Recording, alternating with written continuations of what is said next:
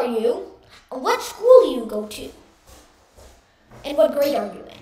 A Conversation with Global Professor, Episode 5. Thank you, Professor Bari, for giving me the opportunity. I'm Safwaan Mustafa. I'm 11 years old and a fifth grader at Dhanmondi Tutorial School. I live in Dhaka, Bangladesh. I'm the only son of my parents and I have an elder sister. My father is a business executive and my mother has devoted her full time to make our family wonderful. And my aim in life is to become a motivational public speaker, particularly targeting the youngsters to help building a beautiful world using their hidden talents. That's all. Thank you. Today, our guest is Safwaan Mustafa. He is a Bangladeshi, 11 years old, and a child prodigy. He's in the fifth grade at Dhanmondi Tutorial School. He is the fastest kid typist in Bangladesh. Wow, that's honestly so great. So, um, first of all, uh, what make first of all, what makes you different from the 1,300 other kids in Dhanmondi tutorial? And second of all, what makes you different from the 18 million other primary school students in all of Bangladesh? Well, there are many talented kids in Bangladesh, and this is a country of opportunities. We just need to bring the right talents in the right places. I have very little achievements till today, and I'm continuously working to achieve more and more. This would not have happened if I wouldn't have got the support from my family. To name a few small achievements that I've obtained so far are as follows. I'm a paint and I've participated in six art exhibitions, one of which was glass painting.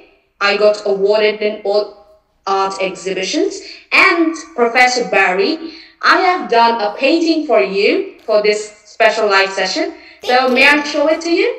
Yeah, sure. Uh, okay, so here's the painting. Can you see it? Thank you so much. It's so great. I love Yeah. that hand. I can't even draw a face Yes. that well. okay, and as I talked about the glass painting, so let me show it to you. So here is, yes, here is the glass painting. You can see? This is a glass painting which I've done. My goodness, you are truly great. In fact, I've also interviewed another artist before. You are honestly one of the best artists I have ever seen. And now I'm even more honored to interview you. Thank you. Thanks a lot. Means a lot to me. Huh? So, um, is there anything you can do other than uh, now?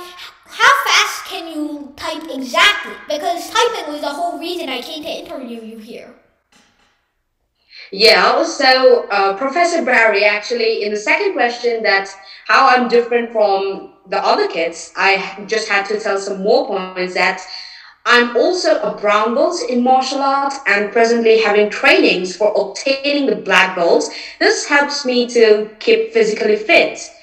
And interestingly, I've developed a general knowledge video content course with 5,000 amazing general knowledge questions about the world and for all age groups. It is for all the age groups. Youngsters and job seekers can be highly benefited by going through the course. And I'm one of the youngest teachers in Bangladesh teaching mental math at Bangladesh Online School. I also have a YouTube channel, namely Little Master, where I upload videos on mental math, English pronunciation, Islamic lessons, and computer programming. I have more than 100 public presentations in my YouTube and Facebook channels. I'm a regular podcaster at TESOL Radio for motivational stories and Islamic lessons. And at last, I'm the fastest typist in Bangladesh. I'm only a few words away from becoming the world's fastest typist. Please wish me luck on the same. My goodness, you're pretty famous. Now, um, I see that you have all of these great achievements. Now, I wanted to ask you a little something. Um, what do you think about Bangladesh's current education system? Well, um, I would say that the present education system in Bangladesh is bad. It's still not up to the mark either. but it is improving. Pandemic has taught us and also our teachers the new horizons of teaching methodologies. And the main problem here is that there are very few insignificant changes in the education system of Bangladesh for the last 50 years. And believe it or not, the way our great grandfathers studied, we are also following the same methods. But the world has changed a lot. Our decision makers need to ask themselves that does this uh, curriculum really help our students to be fit for the coming world? And by 2050, it is predicted that there will be 9 billion people. I repeat, 9 billion people in this planet Earth. Food and pure drinking water will be a scarcity. After all, we will have to fill up 9 billion dishes three times a day. We need to think about that. Our education system should somehow be able to put the thinking process in our heads, which it currently doesn't. One of the most important drawbacks of our education system is it cannot come out of the traditional systems like traditional courses and traditional grades. All right. So now that's great, but I wanted to ask you what difference done one. Uh, in fact, here in the U.S. as well, we also study the same way as our great grandparents do. The current educational system was invented in 1874. So, um. Right. Now, I wanted to ask you, what makes Dhanmondi tutorial in particular different from the rest of the schools in Bangladesh? Well, Dhanmondi Tutorial is such a school. Well, it was established in 1972 and it is a very old school and it has lots of experienced teachers like one for 30, 35 years, even for 40 years. Like I, my class teacher, Lulu Miss, yes, maybe she's watching the live probably with you as your very famous Professor Bari. So I've informed all my school teachers to watch this live and every teacher is, well, they have different kinds of talents, and of course, they're very good at teaching as well. That's great. And um, I wanted to ask you, uh, which teacher do you like the most? Okay, so my most favorite teacher is Mohammad Yasser, the founder chairman of TESOL Bangladesh Limited. He is smart, dynamic, and one of my idol. I've done many researches with him, and he helped me with, my, with my English pronunciation and mental math. Together, we have also invented some creative mental mathematics tricks. He's not only a teacher, but also a preacher. Our chemistry is so beautiful, which is very unique in this country. Great! So now, um, are there any favorite subjects you have?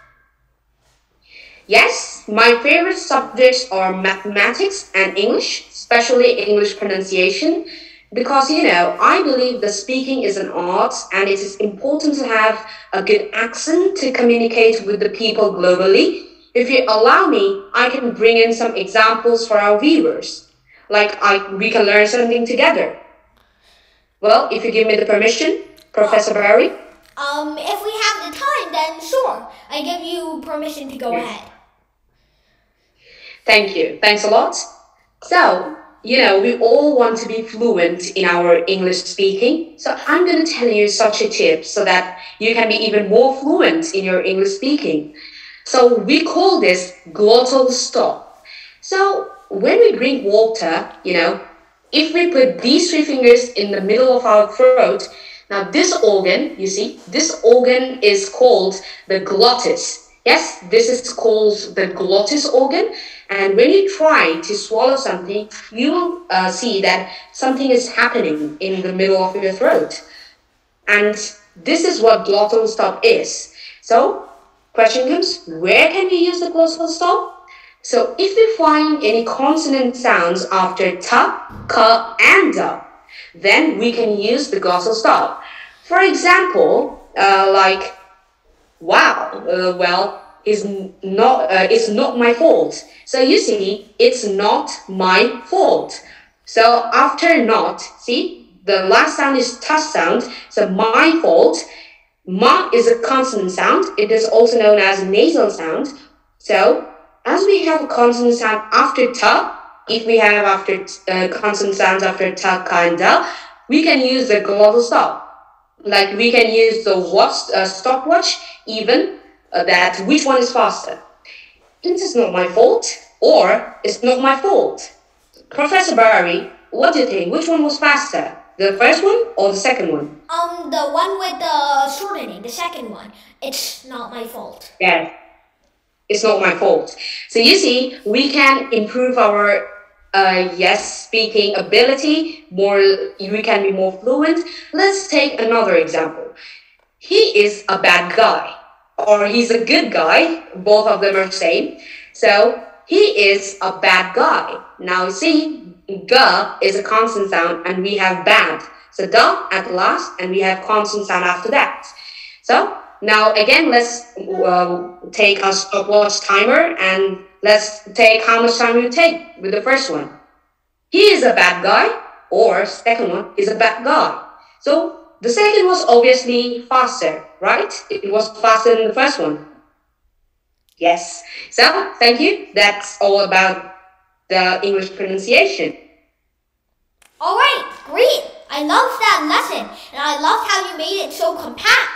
So, um, now I heard that um you are uh, great at mental math. So I know you use uh, many methods, um, including that one where you use a method to add twenty consecutive numbers. Uh, so first, can I hear your method?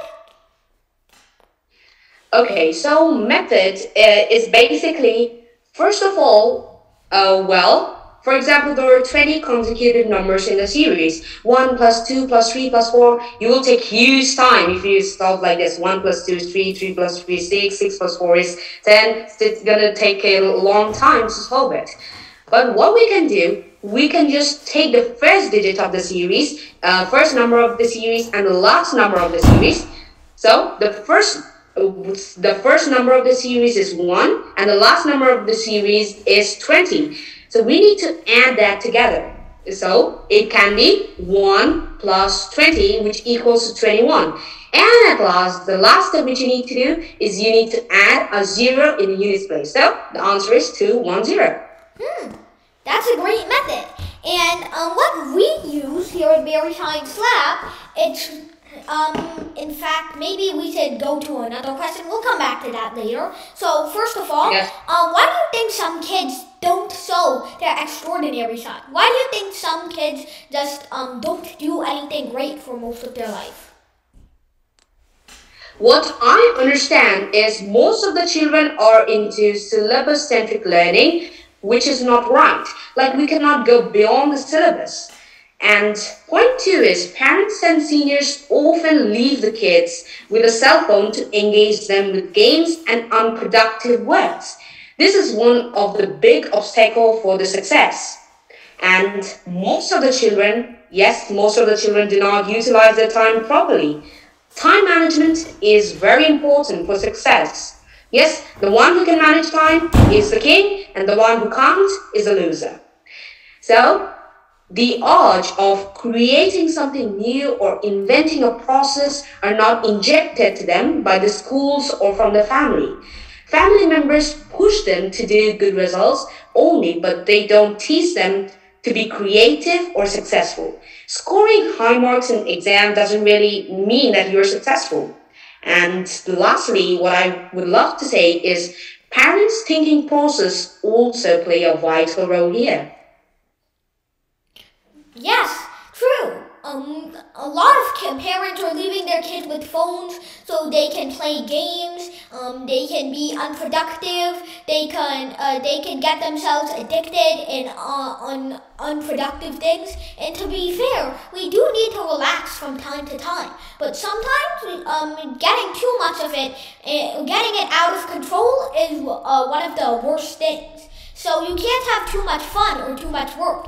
And now, um, um, let's. I wanted to ask you, what do you think will happen to the Bangladeshi education system, or for, uh, to be fair, the entire education system in the world over the next decade or so? Oh, okay, that's a very good question. Now, first of all, it's very difficult to predict, and the simple answer is IDK. I don't know. But I can assume that the education system after a decade could be completely changed and might be full online based education to facilitate the distance learning. Technology will take over today's human based systems AI, artificial intelligence supported learning will be there, and with artificial intelligence in place, the human works will be less. Big companies will get their job done with the use of AI and robots. So technical education will supersede the general education. Also, with access to the information highways, uh, that is the high-speed internet, the syllabus for any course will not be limited in the available hard copy books in the market. That's what I think will happen after in the education system after a decade. Great.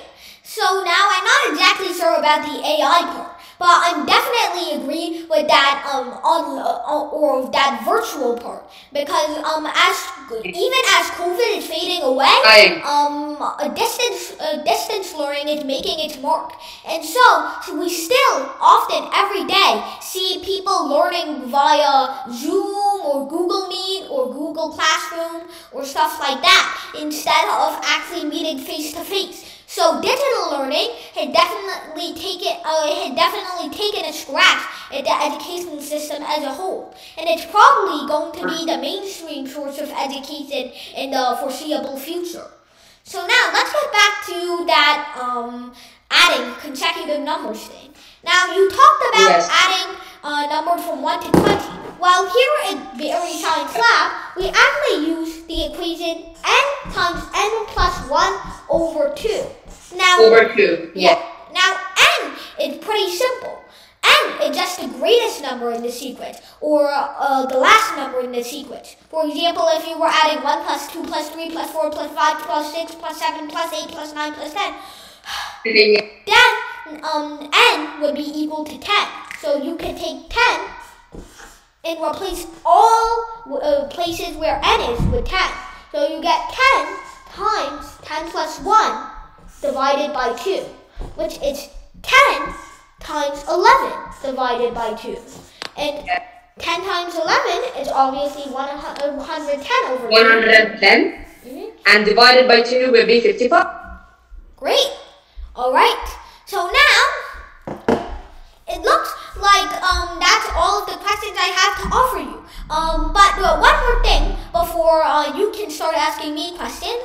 Um, the guy who invented this method was actually named Gauss. Now, it was it, it, it's a very weird story how he came to invent it. Um, so legend says that when he was six in the 1800s, um, his teacher uh, had finished all of the activities. The entire classroom had finished all of the activities. So the teacher decided to give them um, a really long activity that they would never finish so that they just didn't walk out of class or something like that. And so she asked them to add all numbers from 1 to 100. And it is said that uh, while the others took hours to even get halfway, Gauss did the whole entire thing within just five minutes by experimenting. And that he found the answer to be 5,050. And indeed, if you go through the laborious process of um, taking that, then you will find that indeed it is 50 50. Yes, that's right. So, um, now you can start asking me questions. Um, it's so great to see you. Okay. You're definitely an inspiration for millions of children around the world. I hope that in the foreseeable future, uh, I hope that in the blink of an eye, you will change millions of kids' lives. I know that you uh, want to be a motivational speaker. In fact, you told us that at the beginning. So I hope that you will motivate the seven, uh, the eight billion and soon to be nine billion kids around the entire world. Yes, now Professor Isaac Bari, you're also a great inspiration for me. I follow your Facebook and YouTube pages every day and I also admire you very much. And I'm a big fan of yours. Yes. Me and my family members, everyone is a big fan of yours. Oh, that means so much to me. Yes, and uh, just to remind you, you asked me a question that how fast can you type? Is fast typing important? That right? Yep. So I didn't answer that question. So the answer to that question is I just tested my typing speed yesterday, and that was 70 words, uh, 107 words per minute with 98% accuracy. Not bad actually, not not bad. So at present, the fastest kid type in the world is Abhishek Jain, a 13-year-old kid, and he posted 109 words per minute. I'm very close to do the world record. Just three more words per minute. I just need. If I can hit 110, I can be the fastest guitarist in the world. Yes, and as far as my knowledge goes, faster typing is very important because you know we are moving towards a greener paperless world. The future institutions are predicted to be paperless, and hence computer communication will take over. It is taking over actually. Here comes the importance of fast typing. The faster you can type, the more time you can save for other important works. Wow. Well, that's very true because um, basically electronics have already taken over. Um, the only way we use letters is basically either ceremonial or for very, very important stuff. Like, I don't know, sending a letter to the president. Um, even for Yeah. uh, even for somewhat formal things like communicating with your professor, um, you we always use emails, and so we don't really use paper anymore. And um, so see, uh, using email, uh, uh, using typing is one of the biggest things. And even if we do use paper, you're usually typing out those letters. So I can now I can finally see um, the importance of fast typing. And also, um, I'm not really sure what you mean by not bad for 107 words per minute. That's great. I'm 40 words per minute behind that. Yes. And you know, Professor Isaac Bari, you're great. Well, what's your typing speed, by the way? Um, usually I get around 60 words per minute. The uh, record I Wow, have, that's great. yeah, the record I have is somewhere around 70. So, Okay, that's great. No problem. Like, if you have anything to type, you can just send it to me. I will type it for you. You can just do other important words. Thank you. Okay. So, shall I start asking you questions? Yeah, sure. Okay. So, first question then, who is your idol? Um, well, I would say that it would be either Sir Isaac Newton or Albert Einstein. They were both great physicists who changed the world of physics and revolutionized physics. Um, Sir Isaac Newton was the person who discovered gravity. Some people even made jokes about him inventing gravity. So Yeah. in 1500, everybody was floating in the sky, and um, he discovered gravity. He um, he worked on optics and light. He changed the world of physics as we know it. And Einstein changed it even more by toppling Sir Isaac Newton's view of physics and creating a completely uh, what is now the base of all of modern physics. Right. So th- those two are my idols because they completely changed physics, and I look up to them. Okay, understood. Now, next question comes that how did you get your name Isaac? Like, is it from Isaac Newton, inspired from him? Well, um, yeah, it is. Um, when uh, my birth name was actually Soborno Patik Bari, Soborno meaning uh, beautiful, berry meaning gold, and I'm still not sure to this day what Patik means. Um, but when Yeah. I was two, my um, a friend of my father, who is a professor, Professor Mahfuzur Rahman, he actually he actually asked me. Um, he actually asked my father. I just relearned all of calculus from this guy. In fact, he had went to a very prestigious school, but from that school he didn't understand most of calculus, and he had learned it from some random two-year-old boy on the internet. And so he saw he likened me to Sir Isaac Newton, who was the inventor of calculus. And he thought "Hmm, uh, this man is the ne- this little boy is the next Sir Isaac Newton. So he asked my father to rename me, um, uh, uh, to change my middle name to Isaac. And um, ever since the age of two, that was my new name. Okay, uh, do you know the meaning of Isaac? Um, well, I believe it comes from Sir Isaac Newton, and I'm not sure what significance it has there, but I'm sure it's um, very common because I've seen like a million British people with that name. yeah, that's right. And now comes a funny question that for the viewers, just for entertainment, do you cry when you get sad or angry? Um, well, sometimes when I'm hearing emotional stories or things about hardship, um, I cry a little bit. I get sad, but um, I've not, I haven't gotten angry. I haven't gotten angry for most of my life. I mean, so that means. So, I mean, aside from like terrorist attacks or hearing about um, terrorism or hearing about uh, starving people or hearing about hardship, I mean, this world is not perfect. And sometimes it just saddens me to hear that. And sometimes I even cry about it. But I have almost never gotten angry, so. Very good, very good. And just uh, this is my idea and do you have any plan of opening Isaac Bari Foundation like Gates Foundation or Bill Gates? Well, good idea, but I think that uh, I don't want to establish something about philanthropy, but rather something that would educate people about mathematics and science, and something that would well educate the world about uh, math, science, and how they can be used to uh, change our world, change our technology, and um, how we can stop markers from drying out so I don't get outraged every time I try to pick a new one. Oh, wow, very good. And my next question to you is that when can I expect you to visit Bangladesh and meet you in person? Well, I'm not sure right now. Um, I don't have uh, any plans right now, but maybe I'll have one in the future. Okay, great. Well, I want to meet you in person. I'm very eager to, yes, I'm waiting eagerly. And do you have any idea that how will the world look like after 20 years from now with AI in place?